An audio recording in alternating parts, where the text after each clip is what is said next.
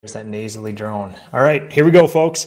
This is the Ask a Painter live show. I am your host, Nick Slavik. I am the proprietor of the Nick Slavik Painting and Restoration Company. I'm also the host of this show, Ask a Painter Live. It's a weekly live Facebook show where I use my over yeah, two decades, really. This is my 29th year of painting uh, to answer any questions. And uh, I shouldn't even just say live Facebook show. It originates on Facebook. It is here on Instagram as well. So, Alan Murray, How's it going? Oh man, we already got a whole bunch of people watching. This is awesome. So, as normal, you guys can comment anything you would like, any topic, any question you want to go through. Never been stumped yet. Very proud of that. Um, and then uh, I'm going to talk about two things that are very important to me superordinate goals and grit. Hello, everybody. And uh, I'll talk about a few other things. Uh, I will say this first. Um, I am doing a special edition of the Ask a Painter live show uh, for a number of reasons. It is, I live in a town called New Prague. It's a Czechoslovakian community. My last name is Slavik. We are very Czech. We are very German. We are very Eastern European here.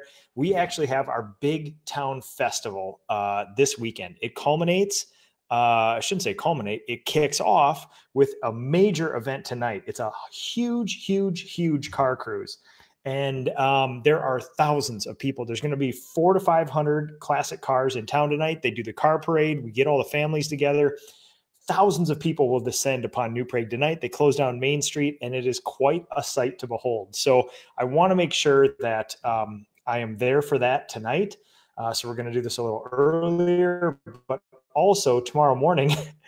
Tomorrow is deer archery opener in Minnesota. I usually don't miss an opening day. So I am going to be uh, sitting in a deer stand when I normally do Ask a Painter. Now, I did have a thought that ran through my mind of if I'm not seeing any deer, do an Ask a Painter from a deer stand. I have not done that yet. I've done it from fish houses on frozen lakes, I've done it from all sorts of places. The deer season runs from now until about January 1st. So I'm assuming that in that new box blind I'm building, you will probably get an Ask a Painter live episode somewhere this year yet. So I'm not going to push it. I'm not going to uh, spook any animals on that. So Number one, can't wait to see everybody downtown at my festival. It is an amazing time. Way more people show up here than should for a town that our size. Also, good luck to all the hunters out there. Stay safe this weekend and enjoy the outdoors, man. That's what it's all about. So, okay, Phil Klein, Vision Quest. Yes, my friend. So, we're going to talk about some things that we talked about on the Ask a Painter live retreat. We went deep on limiting beliefs, superordinate goals, grit, and long term visions, things like that. Now, we don't have two and a half, three days to do that here. So I'm going to talk about superordinate goals and grit. Um, first, I should, uh, we, we, can't go too far without mentioning the PCA though. So, um, thank you to the Painting Contractors Association. Last week, we had a national board of directors meeting here, and people from all over the country flew in. Uh, all the officers of the board, all the directors, the executive director, employees of the PCA. And we did a whole bunch of updating and we started talking about vision and strategy uh, for the next five to 10 years. And what an inspired group of people. And uh, I love this certain feeling when you're the dumbest person in a room. Because it lets you know that there's something to strive for. And it also gaps you. There's a gap between where you are now and where you see everybody else. And I love getting gapped, as it's called. I love getting gapped. I love seeing what's possible, what's out there. And I cannot wait to sort of like become more mature as a leader, especially from a board of directors thing like that. So, oh man, thank you everybody. Uh, Pete McDonald, Nick, it's 10 p.m. here in Ireland. How you doing, man? Uh, wow, this is great. I'm glad. So one of the things I like a lot about doing these weird, odd special shows is we catch people like that because normally we would uh, we would not catch you guys. So uh, awesome that we can get you here. Uh, I'm enjoying a session wheat ale today, uh, just getting ready for the old uh, festival this evening. And uh, I would urge you, if you're in Ireland and it's 10 p.m., uh, raise a pint, raise a glass. Uh, if you're like, uh, you know, maybe Phil Klein, uh, who's in Iowa, just just south of me here, uh, still working, put me out of the background and listen. So, all right, folks, if if you want to get gapped, if you want to be the stupidest person in a room, if you want to know what the possibility of thought and action is, join the PCA, the Painting Contractors Association. Um, people, people from the PCA people from the PCA have taught me a lot of the things that I know now. They also challenge me in a way that I've never been challenged before. And that's one of the things we're going to talk about today. Noah Tucker, thank you so much for that. Um, superordinate goals are long term goals, but they're not just long term goals. They're not a goal that's going to happen a long time from now. Uh, superordinate goal is the goal to rule all other goals, and this is this is something that um, I am very very interested in because I started reading and uh, I was very interested uh, about grit uh, in the last couple years. Now, I am I am fully under the belief that you need grit and information to succeed. And I'm getting parched, so give me a second here. I believe you need grit and information. The, interesting thing is we're running out of excuses. Almost all the information is free out there. I mean, God knows if you're watching this, this is the perfect example of it. Think about what we've been talking about this year. I was just listening to my favorite podcast, Advice from a Young Tradesman, Noah Cantor, friend of the show, best friend of mine in the industry. He just gave one of the best treatises ever on what to do in your first year or two of a painting company. And I posted it on the Paint Ed group. Go look that podcast up. Um, if you've been through your first year business, sparks will be going off in your head. If you've not gone through your first year or two of business, that's exactly what you should do. What's interesting that Noah said was over the last year, uh, because of COVID and things like that, I started doing super hardcore job costing, goal tracking, um, job description, deliverables. I went I went nitty gritty on the unsexy, mundane, boring stuff that actually professionalizes your business. Noah followed along and even mentioned in the podcast he just was doing what I was doing, learning with Ask a Painter along the way, and there we go and here we are. So, uh, huge compliment from Noah. Also, God, that guy is thoughtful, and uh, it's an amazing, it's an amazing podcast. I would urge you to listen to it. But Noah was at the retreat, and he is one of the person who challenges and pushes me the most in the industry. I love this guy. He comes from an outside point of view, and he is very interested. Uh, when I went to Vermont to visit him, basically all we talked about was superordinate goals. Now. Superordinate goal. Again, not just something that's going to happen in the future. It is a goal to rule all other goals. If you want to have $8 million of capital in a bank, liquid assets, if you want to have a business that runs without you, if you would like to have options for your family and friends to get into this business, if you would like to become more involved in the community, what you picture your life as. You can you can make superordinate goals the big overarching thing 50 years from now what do you want to do? You can make a superordinate goal be a fitness goal. You can do lots of these things. But the superordinate goal is something that's long term. The problem is we like to think this as visionaries of these companies, we like to think about superordinate goals they're very sexy. I want to be a $10 million company. I want to have 100 employees. I want to have a business that runs without me. The problem is then we don't take any steps tomorrow in order to get that goal done.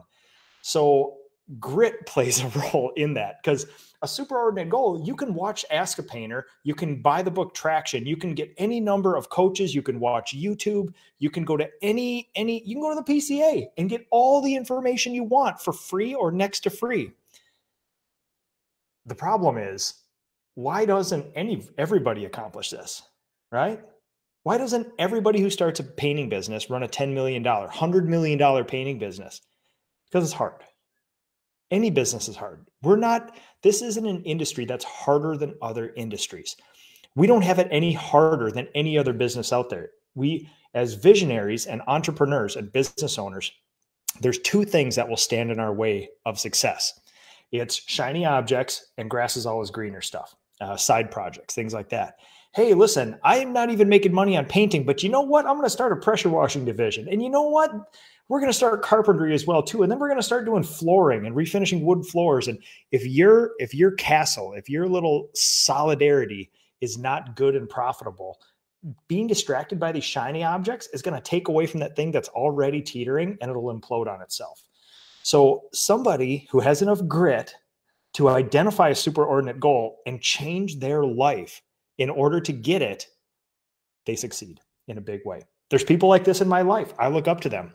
I am not a compliant sort of guy. If somebody lays out a system in front of me, I can usually function within it.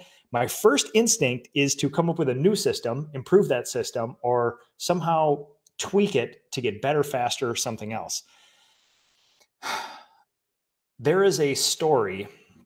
This is hard for me. Superordinate goal, staying compliant with something. Um, exercise is a great thing too. I, uh, a great example that. I get insanely bored. I get insanely bored with fitness and exercise and all that stuff. Um, I enjoy, I'm really utilitarian. So if I'm going to do something, I like cutting down trees and clearing brush because it's great aerobic exercise. But then at the end of it, you have something to show for it. The antithesis of utilitarianism for me is sitting on a treadmill and going for 42 minutes, and then you aren't three inches farther than when you started. It's very, very hard for me to do that. So I have to trick myself into doing that. So I change whatever I do. Um, right now, I am walking my dog uh, between four and five miles most morning, but it's not just to walk my dog. I do two things on that walk. I call it my ideation walk. I have a goal of something to think about and I disconnect from my phone. I take a phone that's not connected to the internet. So all it is is a Spotify playlist that, you know, is not connected to the internet. I can't text, I can't check anything, I can't even call and I'm forced to have successive thoughts uh, that I normally wouldn't. I can go about six or seven to 10 uh, more questions and layers deep on a particular topic when I'm not distracted by other stuff. When I'm sitting in my office here, I'll see an email, I'll see a Slack message, I'll see a, something on the drive, and I'll get distracted. I can't, I can go three thoughts deep. I can't go 10 thoughts deep. The ideation walk does that. Also, I'm training my dog to hunt. So as we're doing that uh, on our walk, I'm not only ideating, but I'm also getting reps in for about an hour and 20 minutes every day with my dog, training him. So to me, that is insanely utilitarian. Not only am I doing something that I can't do otherwise, this this deep ideation, I'm also seeing results in my dog and I'm also getting exercise. That's like a triple threat for me. So it's the antithesis of a treadmill. So when we think about superordinate goals, being like Jason Paris, being like Noah Cantor, being like me, or being like any of the other people, Dave Scaturo, Gina Court, uh, Christian Militello, all the people we know and love from the industry, doing exactly what they do may not be right. You have to tailor it to yourself. We each have grit in our own way. Some people have a ton of it and this comes easy and they love compliance. Some people have lower grit and you actually need to work on getting that grit up. Um, let me go through some comments here while I organize my thoughts and then we'll keep going here. So, Oh man, uh, Jerry Williams, how's it going? Anthony Cade, how are you, man? Beach house painting. Anthony Cade, dude, 10 hour days uh, are where it's at. Yes, it is. I love it. Phil Klein, Vision Quest, man. So we actually nicknamed um, the Ask a Painter Live uh, thing Vision Quest, uh, the retreat Vision Quest. It was a lot of fun up there. So Oh, Dijon Walker, first time watching. Thanks a lot, man. Mike Wojon, fellow Minnesota painter. Uh, Justin Fry, unexpected episode. That's right, man. Keep everybody on their toes here. Noah Tucker, thanks a lot, man. This is this shirt is uh, is my honorary. Uh, you IGers can see it. I brush Elkin. Uh, my best buddy Zach Kenny gave this to me. It's a very special shirt to me. Uh, he's a nerd like me, a martyr for the craft, and uh, yeah, we we dig this stuff. So, uh, Aaron King, hey, I started recruiting a large, large, uh, about a four and a half month process of recruiting here, um, Aaron. So I have a voicemail waiting for you. In the second I get a chance, I'm getting out there and taking a look at it. So Ryan Blakely, distractions all around. Absolutely. Justin Fry, shiny objects. You got it, man. Uh, David, howdy, boss, man. How's it going? Uh, thank you for rocking yet another great video. Absolutely, man. ah, this is a question I love, David. Then we're going to get back to superordinate goals. How did uh, do a 10 hour day uh, day with weather changes and stuff? So everybody always says, yeah, what happens when it rains on Tuesday? And I will say the exact same thing to you. What happens when it rains on a Friday? My people aren't working. We've got all our, our work done in four days. So you'll say, wow, if it rains Tuesday, what do you, what could you possibly do? Two things.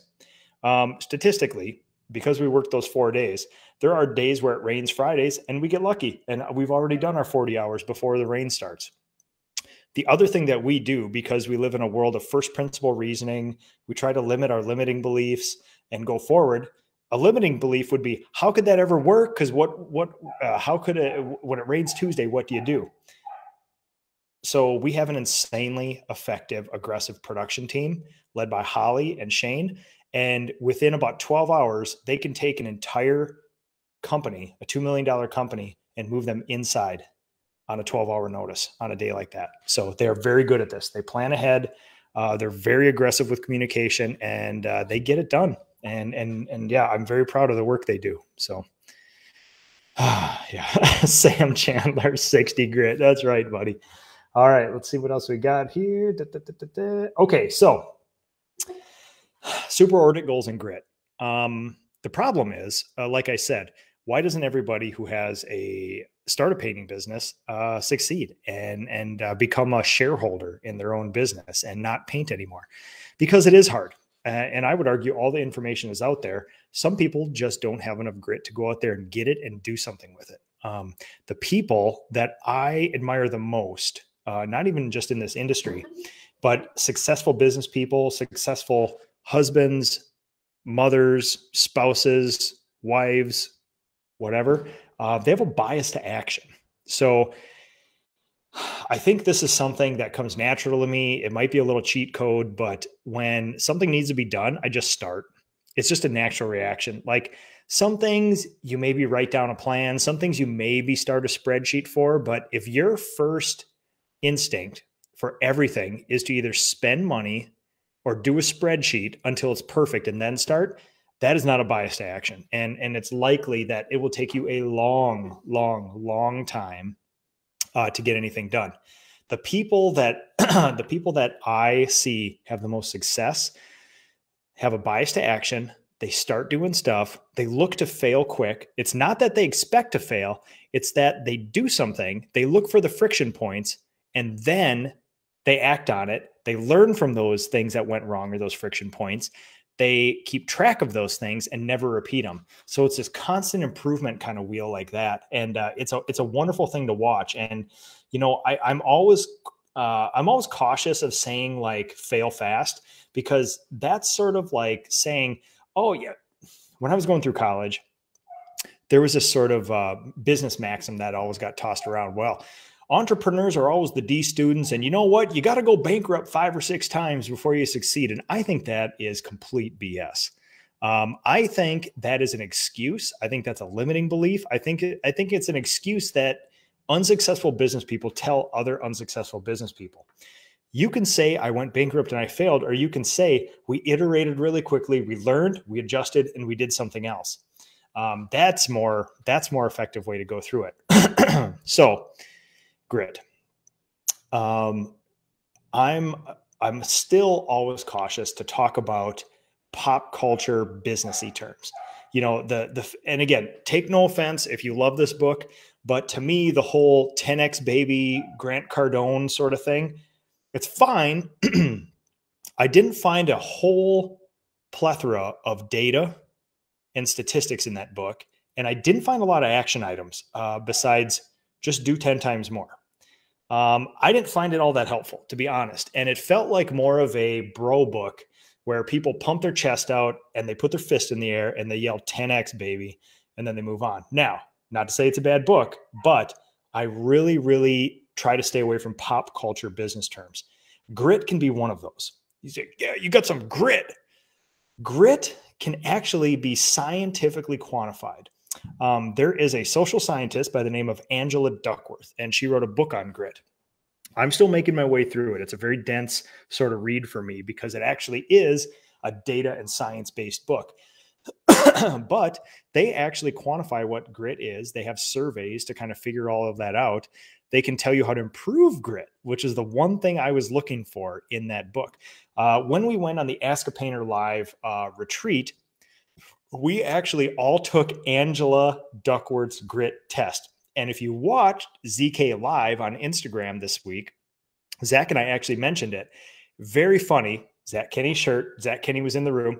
Zach Kenny got the lowest grit score in the room. Now, I think he was just probably being the most honest out of all the group because it's a highly competitive group of people. And I think we all might have been juicing our scores a little bit, or we think a little better about myself there. Uh, so that was really interesting to see. Uh, but you can take this grit test. Um, it's uh, if you look up Angela Duckworth grit or grit test, I mean, it's a very easy one. There's there's uh there's ones between like I don't know, I can't remember if it's between 10 and 13 questions really quick. They're pretty subjective and there is a bias to our own opinions and subjectivity, so you have to be careful with that. But um yeah, I uh you take that. It's helpful. Um but you probably already know the results uh really. So, grit what's interesting to me is that um, there's a story actually maybe i'll get to a couple comments here and then i'll get to a story about a hall of fame pitcher. Um, all right. We found that all the excuses for 10 hour days never come into play. Anthony that's exactly it. Every so this is this is the thing always which is like how could you possibly do virtual estimates? How could you possibly print an estimate out on site? How could you possibly only work four 10 hour days how could you possibly hire somebody without any painting experience? Those are all limiting beliefs. And what you need to do is use first principles reasoning and say the first step in first principles reasoning. First principles reasoning is a way to solve problems. You break down the problem to its fundamental little pieces and you explore your assumptions about that. Most people's assumptions are absolutely wrong. You ever hear there's no good people out there? That is a massively false assumption that every single person in our industry and now every other industry holds. You first have to call yourself out on your own BS. And most of the time, if you're honest with yourself, these assumptions are false. So, the the three big knee jerk reactions uh, or the pushback that people give to a four day work week, uh, they're basically not really the problems. There's other stuff that comes up, of course, but they're not really the problem. So, yeah. Anthony, you know, man, you're a thoughtful dude and you've been practicing now too. So, Ryan Blakely, bias to action is greater than paralysis by analysis. I've only just recently learned this, but it's great. Just do it. So, if you look on on the painter facebook you know any of the groups that we follow a lot of the times you see this paralysis by analysis like people just ideate and ideate and ask questions and because they're not given an answer that they want they keep asking, they keep making spreadsheets, and they never just try something.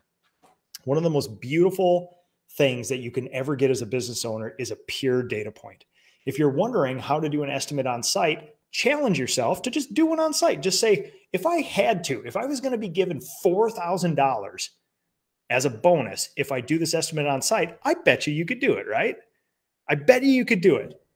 So remove the $4,000 bonus, add a little grit, and just get it done. Try it just even if it takes you two hours, you have a data point. You say the first on site estimate I ever printed out and handed in the same appointment was two hours. Now, next time, here's the friction points that came up these three things. My tablet wouldn't connect to my printer, so I wasted 20 minutes doing that. So tonight, I'm going to sit here and make sure that it connects. And then the first thing when I fire up my little mobile command unit in the morning, I'm going to make sure it connects. And on the next estimate, you've taken 20 minutes off. That's a 10% saving time in that thing. So, David, I love failing. I learn a lot, teach others what not to do. That's it, man. Okay, I think there was one more here, and then we're going to get to grit and the Hall of Fame pitcher. no drip painting. You mentioned your production team. What are some of the other responsibilities? Well, this is something we should actually talk about uh, sooner or later. You you bring up a really good um, you bring up a really good topic for a show. Uh, I should actually have Holly on here um, uh, to to explain her role. Um, so production team. Um, we may do things a little bit different in my company. We add in a lot of the admin and coordination roles uh, with our production team because that's how we've done it. And we use first principle reasoning. And we said, you know what, we can get by without an admin or coordinator for a long time. So basically, the general idea of my production team, we have a manager, and then we have uh, we have a we have a production manager. So Holly is my right hand person in the company. She's been uh, she's got most seniority. She's been here the longest of the leadership team, and um, she has a project manager, Shane, and uh, basically the the idea is Andy and I, the I'm the sales manager. Andy is the estimator salesperson. And we sell a job. The second that a client says, Yes, put us in your queue, we do a special handoff to the production team in a very formal, scripted way. And then basically the production team takes it from there. They discuss scope, they discuss color, they discuss schedule, they get the crews scheduled on it, they make sure all the supplies are there on time, they discuss any weirdness, they help, uh, we do change orders with them if that's the case. They set the project up, they get it going, they see it through, they do quality checks, they close it out, and they invoice. And then there's a whole bunch of admin and coordination stuff. My production team actually does all the job costing because it's fresh and top of their mind, and they like to be connected to it because they're bonus by it. Um, and they do, you know, there's there's about 14 other things, uh, admin style. They update our goal tracker and all this other stuff, and uh, update the bonus stuff. And uh, but yeah, basically the general idea is after a job is sold, they see it through. They are production. They get it done. It's where the rubber hits the road uh, in the company. So hope that answers your question. Okay, so you want to talk about grit and a superordinate goal. This is sort of how I think about it.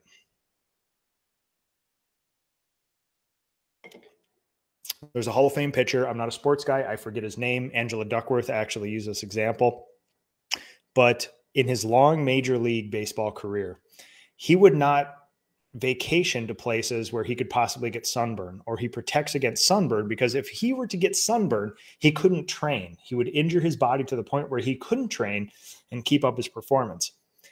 He would change his diet. I mean, this is a pretty straightforward one. He would change his diet so that he was healthy enough to have a long career and his body would respond to it.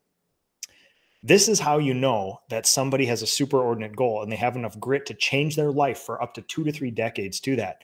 He would not pet a dog with his throwing arm in case that dog would bite that throwing arm and not allow him to throw a baseball.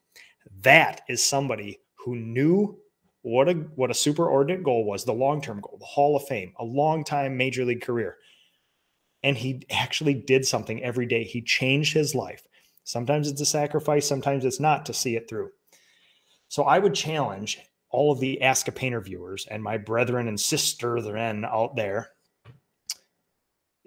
What is your superordinate goal? And this is something that actually took me a long time uh, to sort of figure out. Once you go deep, once you go deep and figure out your superordinate goal, you have to figure out, you have to backtrack from there. If your superordinate goal is 20 years from now, you have to make benchmarks along the way. I would argue every year, every two years, three years, five years, something. But if you just have that as a goal and you don't connect where you are now to where your superordinate goal is, you will likely go many, many years without making any progress on that. So there's obviously books like Traction uh, that deliberately help you with something like this. But it's as simple as saying, you know, hey, in uh, in 10 years, I want to have 20 employees. So, you know, the common math would say, well, I'm going to hire two people a year, and in 10 years, I'm going to have 20 employees. But you're not looking at attrition. And so attrition is going to be there. So you're going to say, well, you know what? Uh, let's plan, let's pad it a little bit, and let's hire four people a year so that if we get 50% attrition, then we're going to have a 20 person painting company in 10 years. And then you're going to have to start looking, well, if there's 20 people here, who are we going to need to support them? And then you say, well, you know, we can't just add them when there's 20. We're going to have to add them along the way. So basically, in in 10 years, if we have to do this, we're probably going to have to add our first production manager come somewhere between year year three and year five. And then year six, we're probably going to have to add a salesperson. Maybe year seven or eight or nine or even 10, we're going to have to add a coordinator. But if you have all this stuff mapped out, it's not going to be a surprise and you're not going to be reactionary. So um, it takes a lot of grit uh, to stay in tune with that stuff. And and I'm going to answer some more questions, do some more comments, wet my whistle a little bit, and then we are going to talk about how to get more grit. More grit. That's the thing I'm very, yeah, I'll, I'll talk about that in a second here. I got a lot of thoughts. Sam Chandler, what's the population in your market? So depends how you define market. My town that I'm in right now is about 7,700 people, 7,800 people, but we service kind of the whole Southwest metro uh, of Minneapolis, St. Paul. So I've I don't actually know what that is. When it when it gets bigger than your, I mean, really, if we're picking from employees, you really have to say 20 mile radius, uh, really at the most, give or take. That's kind of our market for it. So we are rural. I mean my God, people, if you can look out here, I mean, this is a farm. Uh, like I said, we we used to have two stoplights in New Prague. They took one out, and now we have one stoplight again. So this is so the interesting thing is when people ask about my market, yes, we're obviously not just doing business in my 7,800 person town, but it becomes a really interesting conversation when you're in Chicago and somebody says, listen, Nick, fine. What you got going there is special, but you don't know Chicago. There are no good people in Chicago. And I'm just like, are you kidding? You have Chicago to choose from. Millions of people. You can't find two. It's just it's insane. It's a limiting belief. So uh interesting. So we are going to talk. I'm, I'm, I'm trying to figure out how deep to get on this stuff. So there's basically like two principles of how to get more grit. One is superficial, one is kind of superficial, and one is actually takes a lot of grit to get more grit. So the easy one, the superficial one, is looking the part. Um, there's a scientific term for it that I forgot. Uh, it's not something that sticks in my brain because it doesn't. It's not naturally intuitive that it explains that sort of thing. But basically, it's it's a social science term that basically says this: if you look the part, you will actually perform better. And there's a whole series of some insanely interesting scientific um, studies and tests that they did. Give me one second. One of them directly relates to our industry, which I thought was really cool because a lot of this stuff, when they start talking about doctors and lawyers, you think good, they're people and we can take something from it. But what about our trade? Are we different? Um, one of the social science tests that they did was they took a bunch of high school students, I believe. They gave they broke them off into two groups, and they gave them all white smocks. So you know the kind of long jackets that hang to your knees, things like that. They told they told half of the people, uh, Giuliano, how's it going, my friend? Noche. Um, they told half the people that these white smocks were doctor smocks and you are doctors. You're going to be acting like doctors. So think like a doctor. The other half of the people, the other group of the people, uh, they told they were painters, which is hilarious. You are painters. Think like painters. They gave them a series of math tests. Guess what the outcome was? The people who were told they were doctors did better on average than the people who were told they did painters. Now, I don't think they told the painters that they were all residential exterior house painters. I think it was more like maybe decorative painters or things like that, but painters nonetheless. That's as close of a study to our industry as we're going to get. It feels stupid, and I feel stupid even saying it, but it is true and it's bore out by science. If you look the part, you're going to do better. You're going to act differently. There's a reason. Uh, I haven't been technically in the field for many years now.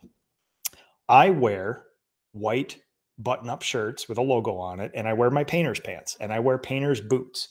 I mean, my God, my my favorite pair of Red Wings, you know, my Irish setters right here. I still dress like a craftsperson, not only because I am, but because if I was just wearing, you know, coral colored pants and a, and a trendy t-shirt all day doing estimates, people would take you less seriously. If I was in the field wearing ripped up jean shorts and an old uh, Green Bay Packers shirt with with the armpits blown out from sweating in it too long, clients take you less seriously and you feel less professional. I've wore a button-up shirt for 14 years on the job because I feel it's important to be better than average.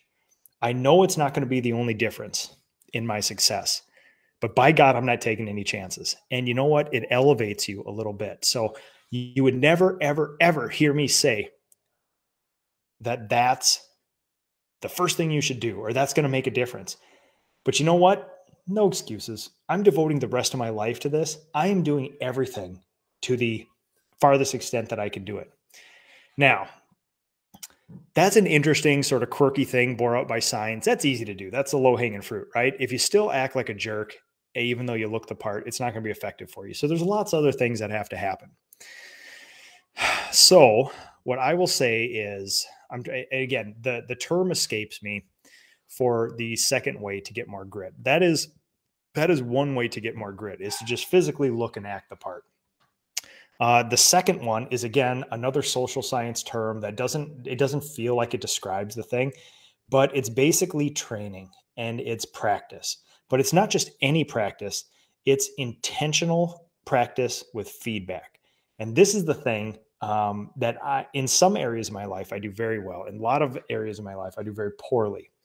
Um, if you've ever read the book Outliers Uh, if you've ever read some of the other sort of like, um, uh, you know, uh, that outlier kind of stuff, um, I don't know if it's fallen out of favor yet, but one of the things that um, the author of that book pointed to that outliers did really well was intentional practice. And it's not just doing something over and over repetitively like a robot, it's almost that fail quick cycle and that reiteration of failure. It's practicing, getting feedback, and changing practice, active practice, actively changing, looking for faults and friction points, making note of them, not repeating them, and moving forward. That's a lot harder, but honestly, that's the way to get more grit. So, the one interesting thing for me when I started going down this thing of grit, because, you know, when somebody very much smarter than you says, Hey, Nick, I feel like if I just summarize this whole thing, I feel like you need grit and you need information. And you're like, Well, grit's squishy, grit is weird. And I, my first reaction was, Well, I think you might be born with it, like a personality type like yes you can probably tweak personality type by upbringing and other stuff but honestly i feel like a lot of that's kind of there already. Like there's a big foundation for a certain personality type in you and then your upbringing can kind of tweak it uh, one way or another. But i don't know that i could drastically change uh, the deepest part of my personality type right now. So I was worried that you were only given, given so much grit, and by God, you had to do what you did with it. But it made me very happy to find out that you could actually mess with your grit and get some more. Now, what does intentional practice with feedback and constant improvement and failure cycle look like? I would argue that one of the ways we've been able to do so many things so fast is we intentionally practice as a company. Uh, we intentionally practice as a leadership team. So um, a great example would be you know starting up drywall or carpentry this last year. Um, what we didn't do was wait till we had a guaranteed win before we launched it out into the world. What we did do was listen let's get it 80% and then let's launch it and then let's quickly take up that last 20% as quickly as we can based on this failure iteration cycle uh, like this. Intentional practice could just be uh, uh, trying stuff doing very tightly controlled uh, scientific experiments where you have a control group, you have a test group. Uh, you only change one variable at a time, so you actually know what you're doing. You make note of that variable and how much or how little it changes, and then you tweak another variable, and you just constantly check things off or add things or remove things until you get something. So, Dominic Crowley, oh man, so glad you were able to watch here. Um, Friday night Ask a Painter on Instagram. So, all right, uh, David Koger, what's your opinion on Staalmeester uh, and Richard Excellent pointed sash brushes? So, uh, I got a package uh, from my friends over in the Netherlands a bunch of years ago. I used to live in daylights out of those things. I saved one Staalmeester, a rounded one. It's so beautiful, just the craft of it, and it works so well. I just save it. I didn't want to use it up, so I love them. I love them now they're not production brushes obviously. We're not painting the exterior of a house with them but you know what? For somebody who like restores old windows and stuff like that sometimes it's just fun to do stuff like that right? It, it's an awesome tool for that. Uh, i like it a lot. Uh, those are great things. So um so in summary of all this stuff this is tough. Taking the time to think about a superordinate goal is tough, right? If you're still painting, you have to paint. And it's likely that you have to do estimates and then do your job costing and then put ads out and then uh, look for employees and all this other stuff. I understand.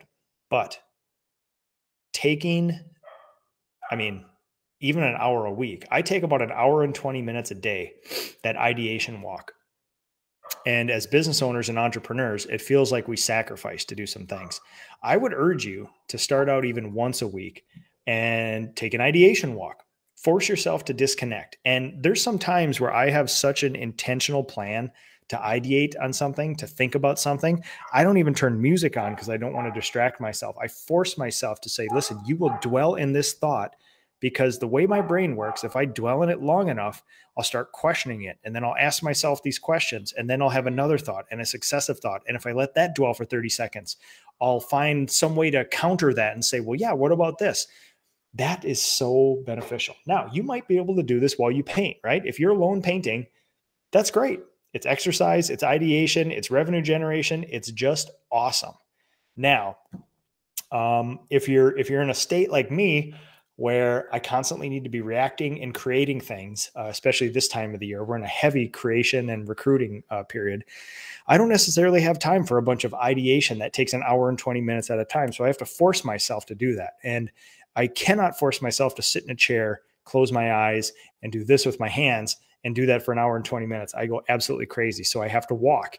And then sometimes that's not enough. So then you got to train your dog. And that's how I trick myself, and that's how I, you know, uh, that's how I sort of um, um, justify what I do with that. But I will tell you, however it works, whatever you can do, even if it's an hour a week, that equals 52 hours a year. If you can just force yourself, schedule it on your calendar to say, I am going to think about 10 years and 20 years and 30 years down the road and what it's going to be like, what I actually want. You're not going to nail it on your first shot. You know, some people may have it figured out. That's great. You're very fortunate. Um, I know my superordinate goal, and and you can have 15 of these superordinate goals, but my superordinate superordinate goal, the goal to rule all goals, has taken me a lot of years and uh, to to to focus. And every year that I go by in business, I learn leadership lessons. I become more mature as a as a leader of people, and that goal changes based on what I learn. So um, it's a very interesting thing, but by God, I would urge you to go take that grit test. Just search the internet for grit test, make sure it's the Angela Duckworth one, uh, and then start figuring out what your superordinate goal is. And remember, like I said before, if it's not written down, it doesn't exist. Write it down. Um, there's things like traction that will actually guide you through this process and do a whole bunch more. But really, write this thing down. And then basically, it's as simple as, and this is one of the things I love the most. So it's easy for me. But if you have a 10 year goal, simply, simply write down what that 10 year goal is, where you are now, and what has to happen every year until there. It can be as simple as how much revenue is different in that 10 year, divide it by 10 and say, oh, we have to increase revenue that much every year. At least you have an idea because in where you are now in the next year, there's going to be a number there and that's going to be associated with how many more painters how many production people and this and that. It's going to start focusing that and it's going to start again 80% it's not perfect. It's probably not going to follow this path but now you have it. Now you can start punching holes in it looking for friction failing fast and that cycle of reiteration uh, that cycle of failure keeps going and going and going. So samuel chandler i ride my ideation skateboard. I love that man. So one thing I'm always careful to is uh, I have a I'm trying to think now. 25 year old Cannondale mountain bike. It was the first bike I ever bought uh, with my own money. That's a super nice bike.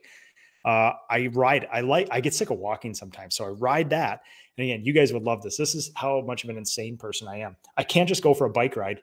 I take checks and I go bike them over to the bank and deposit them, and then ride back. That's how insanely utilitarian I can get sometimes. That a bike ride is not enough.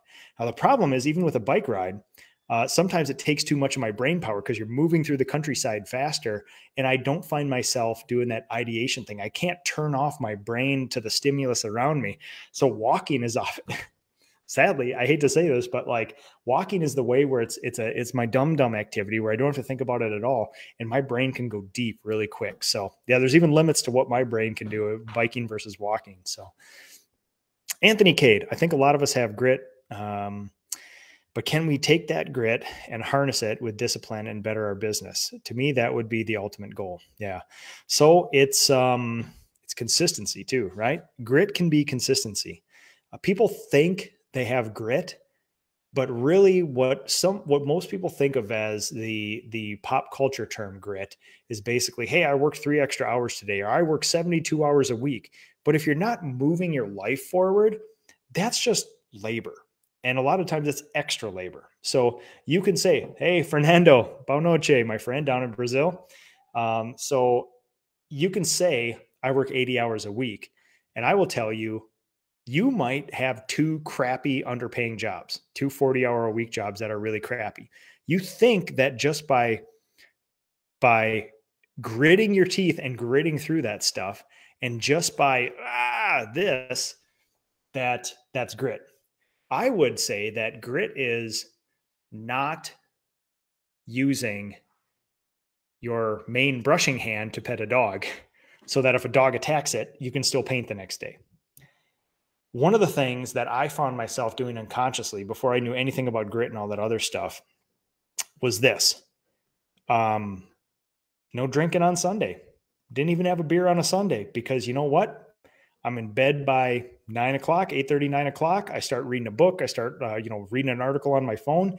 I want to get a good night's sleep because four o'clock Monday morning, I don't want to be that guy who lights a fire, sits there listening to music uh, till 1.30 in the morning, and then I got to get up the next day. I have altered decades of my life so that Monday morning comes around, nobody's fresher on a Monday morning than me. You might say it's a sacrifice, or you might say that's what grit is. And in order to hit a superordinate goal, I'm not already down a half a day trying to recover from the weekend. So it depends what you consider grit. I would consider grit two decades of that. A little small sacrifice to get a big result in the end and to set the culture for the company and things like that. So, Dominic, inspired by your apprenticeship program, um, we're up to five people, shooting to have 10 for the spring. Dude, that is a huge jump. Uh, Dominic, my resources are yours. Anything you need, you email me, you get a hold of me. We do it. Uh, you you know how to get a hold of me. So uh, I would love I would love to assist if you need it. I don't. You got this, but we're here for each other, man, and I appreciate that. So, all right, folks, that is it for me. Um, God, I want to go deep on that. So I devoted three days with some of the top thinkers, the top challengers in the country on this. And what I want to do is sit here and give you the whole treatise, but I can only give you a little. Um, this is something that I've been really interested for the last bunch of years, um, and I want to share it with you guys and the rest of the thought leaders in our industry. So, Michael Crane, again, one of the thought leaders in our industry. These are my people, and I, I like doing this with you guys. So, if you want to do this with more people, there's the PCA for you as well, the Painting Contractors Association. We are gearing up for a major, major event. It will be two years since we've got together for an exposition or the expo, as they call it. It's going to be in Orlando. I believe it's going to be in March of this next year. We have not gotten together in a big professional, formal way in two years. I would urge you guys, let's do this. Let's absolutely do this. You guys will not be disappointed taking a one hour of your week and doing an ideation walk or sitting in the dark, ideating, uh, letting your mind wander feels like a sacrifice. It is absolutely not. You will be eternally grateful you did it. Same thing with the PCA Expo, same thing with master's classes. It is a sacrifice. People have come out on August Thursdays when it is 86 degrees and sunny and sat all day with me to go over solving the labor crisis and how I did it. It is a huge sacrifice. And they probably woke up that day saying, This is going to be a freaking waste of time. Guess what? Everybody universally at the end of this stuff was like, Oh my God, the value is there. Same thing with the expo. Uh, the value is there. You will not walk away saying, eh, eh, you know, fine, it's good.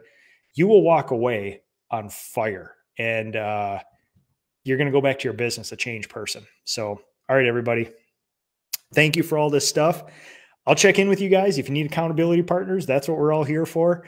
Uh, take some time to ideate, start working on that superordinate goal. Nothing would make me happier than a couple episodes from now. We take the superordinate goal and we start sharing with each other what that is. That is a really informative sort of discussion. So, all right, everybody, thank you for watching. I appreciate this.